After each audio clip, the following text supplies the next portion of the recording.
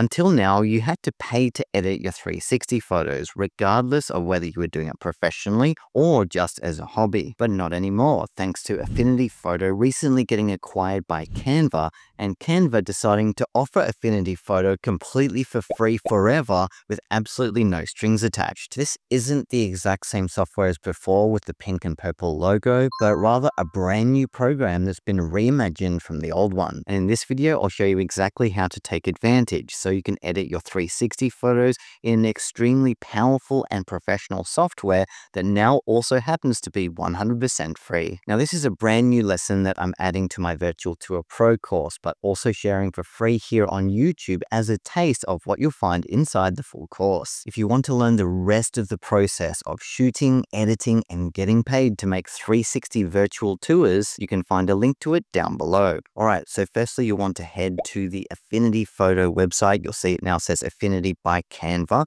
and we're going to click get Affinity at the top right. And this will prompt us to go through to the download page where all you need to do is enter your email address associated with your Canva account. If you don't have one, it's free to sign up and they won't harvest your data or collect any information of yours whatsoever. But you will need a free Canva account to do this. Go ahead and follow the prompts and then download either the Mac or Windows version. Once you've gone through and installed Affinity, open it up and this is what you'll see. You can exit out of this window here, but essentially what we're going to do is drag our stitched equirectangular 360 photo from the Finder into the software. So here is my photo in non-360 format. And if you're familiar with Affinity, the layout is pretty similar, but they have redesigned it a bit to be more minimal and beginner friendly. So feel free to check out the entire software at your own leisure. But in order to edit our 360 photo, first we'll need to convert this equirectangular photo into a 360 viewer. To do that, make sure your photo is selected. Here you'll see on the right hand side, it says background. That means it's selected.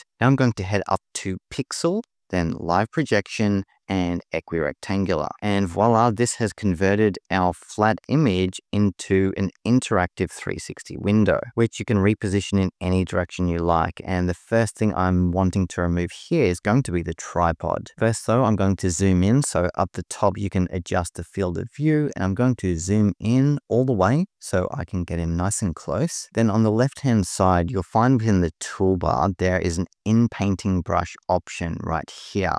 If you select that, this will now come up with this round tool, which you can make bigger and smaller by pressing left or right bracket on your keyboard. And I'm just going to paint over this tripod as closely as possible. And now as soon as I let go, it's instantly going to edit the tripod out. Now that was good, but not great. As you can see, it's kind of marks the carpet a bit.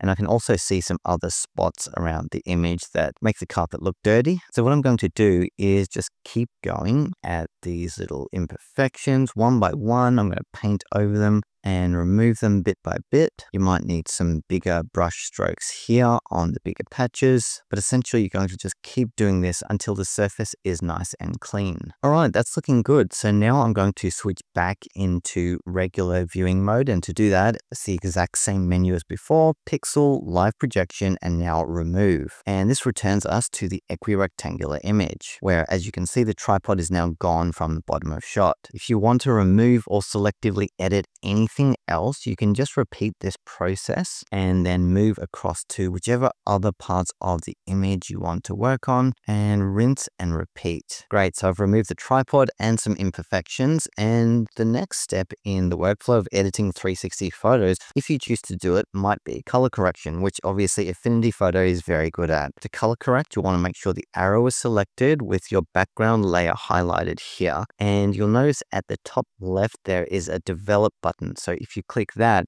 this will bring up the color correction menu. And here is where we can adjust sliders to improve the color, contrast, and clarity. I wouldn't recommend going too extreme with these, but a little bit here and there can help, especially if you've got overblown highlights. You'll see there's a shadow and highlights menu here and simply drag the sliders until you're happy and your image's exposure looks good. There's white balance as well if the color of your room looks a little bit off. I feel like mine might be just a little bit too warm And great, that looks good. So now that I'm happy with the colors, I'm going to head up to develop again and press that, which essentially locks the colors in place. And now it's just as simple as exporting the photo. Well, you can export it as a PNG here using this shortcut button. If you're editing 360 photos for virtual tours, chances are you'll need a JPEG to upload to your virtual tour platform as that's the most commonly accepted file format and is totally fine to use at the very end of your workflow. So to do that, go File,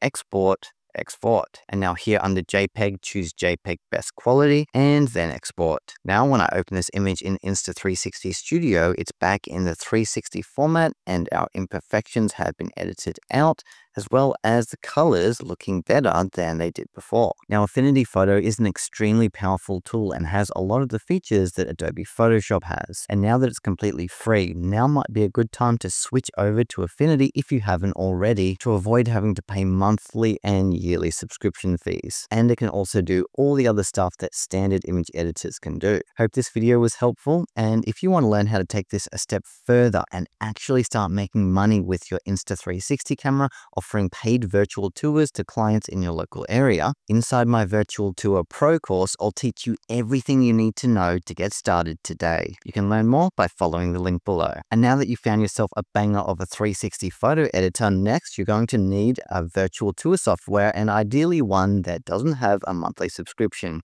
In this video here, I'll share a hidden gem that I found that is totally amazing and might just be the perfect free software you've been waiting for.